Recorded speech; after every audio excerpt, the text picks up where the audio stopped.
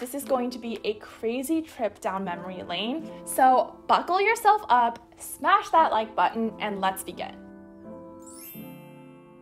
So, there have been a lot of wildfires in California recently, and I've started doing some mental packing and checklisting in case we do need to make a dash for it. As I was looking through some of my old memorabilia, I found a box of old tech goods that I've saved up over the years. I thought it'd be fun to do a little sifting through of the decades in tech, share with you guys some of these prehistoric fossils, and see if these jog up some memories of earlier times before social media, before all of this crazy digital overwhelm that we now live in. Back when I was 15, things were still relatively pretty simple. I mean, it was just mainly the big blue Facebook. So, to my fellow 90s kids, let's take a quick jog down memory lane. And if you're new to my channel, don't forget to smash that like button and consider subscribing to my channel. I post new videos every week.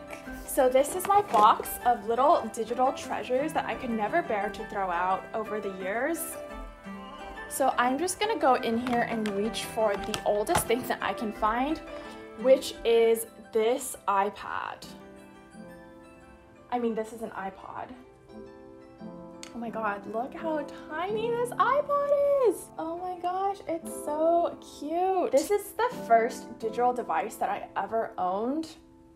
And my dad actually gave it to me when I first moved to America. You probably don't know this, but I spent the first few years of my life in Shanghai with my grandparents. So I remember when I was starting elementary school, my dad gave me this iPod and it had a few albums on it. It had one of Britney Spears' albums, it had a Carpenter's album, it had a Nina Gordon album, and it had some Green Day songs. I still vividly remember American Idiot by Green Day being one of the first songs that I had ever listened to, really, um, especially one of the first songs in English. And I remember that was really like one of the first American songs I ever listened to. and then thinking about this and some of my old journal entries, I just remember Apple's famous iPod commercials of all the colorful silhouettes doing these like crazy poses, listening to music. I don't know if you guys remember that.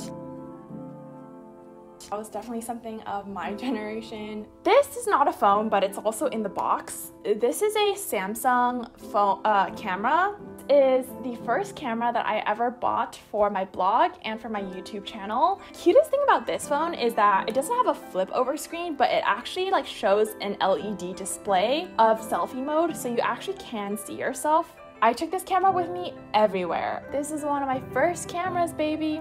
It's been quite a journey since then. Oh, okay, so the next item, I already spy it from the corner of my eye, is this silver Motorola Razr. Oh my god.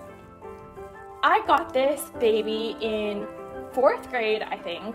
My dad is a pretty techy person and he also works in tech, so I think I definitely got a lot of tech products earlier than most kids my age at the time and liked giving me tech presents. I remember I got this Motorola Razr in fourth grade, and literally no one else in my class had a phone.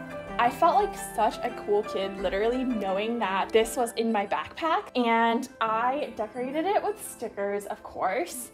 And on the back too, I have some Prince of Tennis stickers on this. I didn't even have anyone to call with this phone because literally no one else in my school at that time like basically had a mobile phone. So I remember I would take this phone around and I would literally just change the settings on it all day because on Razrs you can change like the color, you can change the desktop background. They had like five or six wallpapers you could pick from. So I would just constantly be changing my homepage buttons from like blue to red to gray and then I'd be changing my wallpaper around that's basically all I ever did with this phone.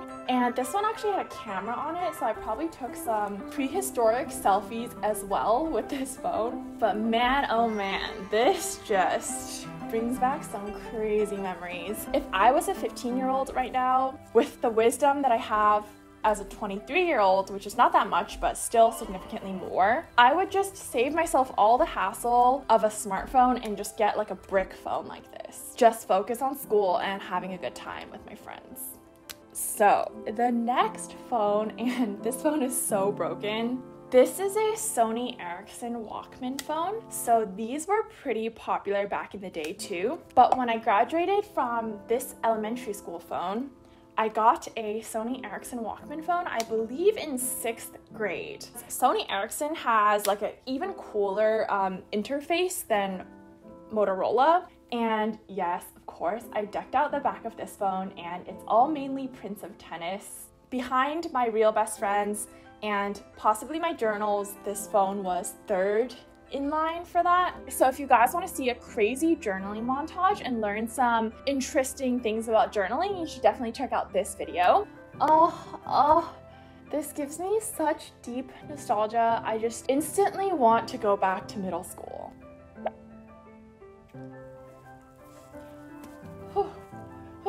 Okay, so after my incredible experience with this Walkman phone, I decided to explore what else could possibly be out there. I saw this one phone online and I became obsessed with the idea of having this phone. And it wasn't even an American phone, it was an LG phone from Korea. But little me had her heart set on having this phone. And this phone is the LG Lollipop. Oh my god, hands down the cutest phone in the universe. The cutest thing about LG Lollipop is when you close it, there are animations, like LED light up animations on the front screen or when people call you you can set like custom LED light patterns like hearts. If you close your phone it'll play a certain LED animation and you can set different colors like you can do blue or purple or red. So I ended up getting the unlocked version of this phone which basically lets you use an international phone with an American carrier. I got this phone in eighth grade. I was legitimately obsessed with this phone. Like, my life was basically complete at that time, all because of this phone. This phone took the cutest selfies. This clear bar at the top would light up and dance with different colors. And I decorated the back of it with pretty Kura stickers. I seriously don't even know how to describe. Like, I felt like such a princess with this phone. Looks like that now. It's really cute. It's like animated, so like. So LG Lollipop, highly recommend. Don't know if that is still relevant today, but seriously, this phone is amazing and it's so cute and uplifting. It wasn't your typical 2008 phone, literally wasn't even sold in America, but once I saw this phone online, I just had to have it and I don't regret it at all. Probably one of the best purchases in my life. So, what happened after that was Google came out with their Android phone, which looks like this. It's got this cute little Android geometric design on the back. And this one was a gift from my dad. Wait, Bridge, come here for a sec. Can you come here for a sec? Just come here, just come here for a sec. Just sit down for a sec. Okay, okay, close your eyes open them? Wait, do you remember these? No, I, got to get out my My sister obviously does not find this as interesting. It's got this little sliding mechanism and it's kind of cool. I liked this because at that time my parents were still using pagers at work. This is when I momentarily became a good texter because of the keyboard. I mean, it was hard to eventually stop using this phone and switch into this phone. I forget what exactly prompted the switch, but there must have been something that I wasn't able to do well with this phone. It might have been that texting took too long because this is like one of those keyboards where you have to like type, type, type, type, type to get the letter. And since I was such a mobile phone person, I also became obsessed with phone decoration, especially cell phone charms, which was definitely a thing back then, especially in Asia. I actually started making my own cell phone charms out of polymer clay and I started selling them to my classmates. So then the next phone I had after that was this phone, and this is the Moto X phone, which is also a Google phone. But what I loved about them is that they had really pretty color schemes. I definitely had good memories with this phone as well. It was a touch screen and it had the thing for the first time where you could like have multiple home pages. And the cool thing about this phone that I still remember loving is that you could set a different wallpaper for each home screen. So yeah, I had this phone for a while and I definitely really liked this phone. Then the next phone that I had was this Apple iPhone. And I think this is the iPhone S. And this is my first Apple phone that I ever owned. And I think I got this um, I got this phone at some point in high school, towards the end of high school. The craziest story about this phone in my high school senior year, we have a tradition called Senior Skip Day where all the seniors skip school and they just drive out and hang out at the beach instead. On Senior Skip Day at the beach, I lost this phone. My friend drove me back and I realized I did not have my phone. And the next day, we went back to look for my phone and we couldn't find it at the beach. So I thought it was probably gone forever. So, right after that, I was supposed to go to Asia. So, one of my friends actually gave me their phone. So, this is a Samsung smartphone. By now, I have like used so many smartphones, but this is a Galaxy S4 phone. So, my friend gave me this phone to use since I had lost my iPhone at the beach a couple days before I was supposed to go on my trip. And I believe I started college with this phone as well. A few months into college, someone texts me on that number and tells me that they found my phone at the beach. This is straight up six months since senior skip day. This iPhone had survived under the sand on the beach for six months and somehow serendipity returned it back to my hands. So then at one point in college, I got the iPhone 7, big screen, as you can see, very big screen compared to my OG iPhone. I feel like a grandma when I'm using this screen, but honestly, I love having something like big like this in college. I literally dropped this phone off my friend's third floor balcony and it is still this intact.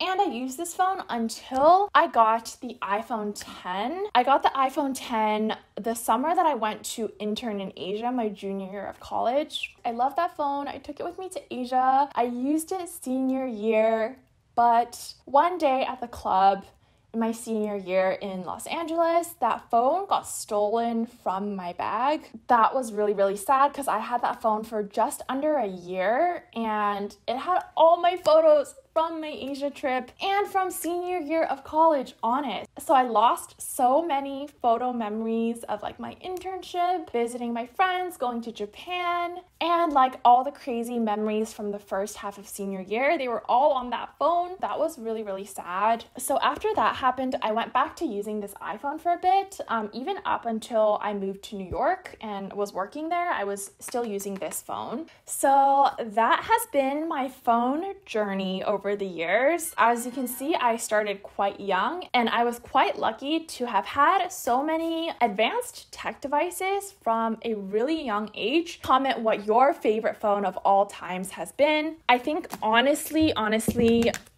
Two of my favorite phones have been these two phones and the iPhone 10 that I lost